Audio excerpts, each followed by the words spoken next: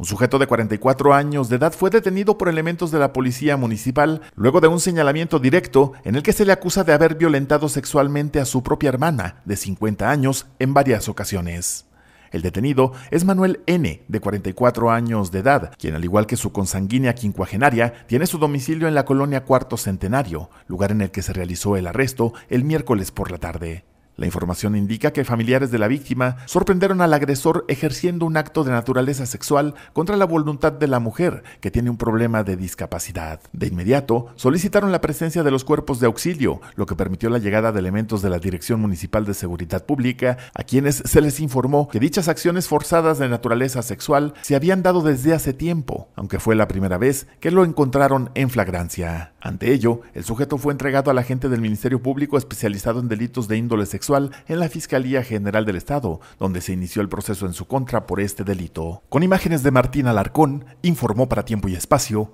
Luis Lozano.